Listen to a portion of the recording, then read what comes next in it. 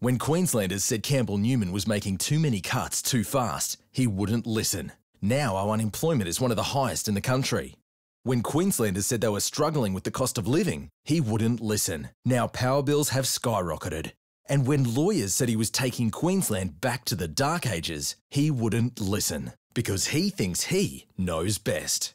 Queensland deserves better than a Premier who just won't listen. Authorised HSM ALP South Brisbane.